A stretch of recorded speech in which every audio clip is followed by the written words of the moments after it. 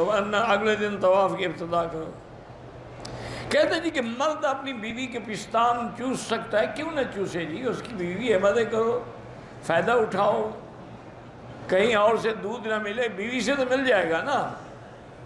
انا للہ و انا الیہ راجعون۔ یہ بیچارے کیا کریں؟ فلمیں دیکھتے ہیں، وہ سیکھ رہے ہیں۔ اب آج سیکس جو ہے، کس انداز سے کیا جاتا ہے؟ لا حول ولا قوت الا باللہ العلی. اصل وجہ پتہ ہے کہ حیا نہیں رہا. بس. اب دیکھیں، بیوی ہو بی بی عائشہ جیسی، جس کی تصویر جبریل لے کے آئے، جس کا انتخاب اللہ نے کیا ہو، اس سے خوبصورت، اس سے اچھی بیوی ہو سکتی ہے کوئی؟ اور جوانی میں، اٹھارہ سال کی عمر میں حضور وفات ہو گئی۔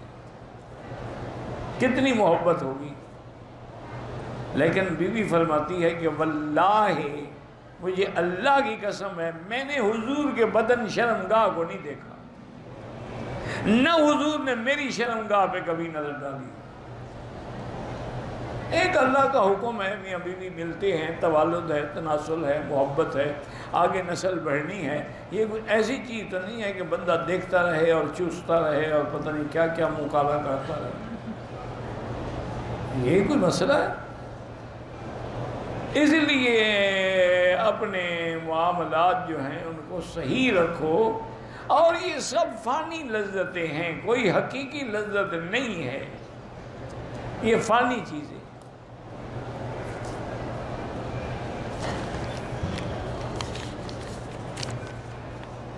ایک اللہ والے تھے۔ بہت بڑے اولیاء اللہ میں گزرے ہیں۔ تو ان کے لنگر میں ایک نیا آدمی آیا، وہ مرید ہوا۔ اور کچھ دن لنگر میں رہنے کے لیے کہ بھی میری تربیت ہو جائے۔ تو لنگر کے کام کرنے والی کئی نکرانیاں ہوتی تھیں، کوئی روٹی پکا رہی ہے، کوئی سالن پکا رہی ہے، کوئی روٹی پہنچا رہی ہے مہمانوں کی۔ وہ ایک لڑکی پہ عاشق ہو گیا۔ اب وہ اسی کو دیکھ رہا ہے۔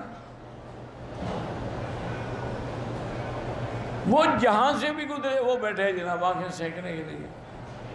لڑکی سمجھ گئی، عورت کو احساس ہو جاتا ہے، اس کو کوئی بری نظر سے دیکھے نا، عورت کو سمجھ آ جاتی ہے۔ کہ اس کی نظر میں پلیتی ہے۔ اس لڑکی نے کیا کیا؟ اس نے جناب جلاب لیے بڑے سخت، اور جتنا اس کے وہ پیخانے آتے رہے، وہ ایک ٹین میں جمع کرتی گئی۔ وہ تین چار دن جو پیٹ چلا، وہ تو ایسے ہو گئی بیچاری۔ نمک نکل گیا بدن سے۔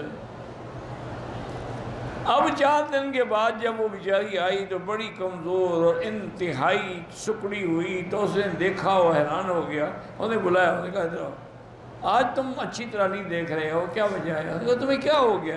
انہوں نے کہا، وہ تمہارا عشق تھا نا، آؤ میں تمہیں دکھاؤں۔ وہ لے گئی کہیں یہ ٹٹی کھانا اٹھا کے لے جاؤ، یہی عشق تھا۔ اسی سے تم عشق کر رہے تھے۔ یہ گم جب نکل گیا تھا عشق ختم ہو گیا۔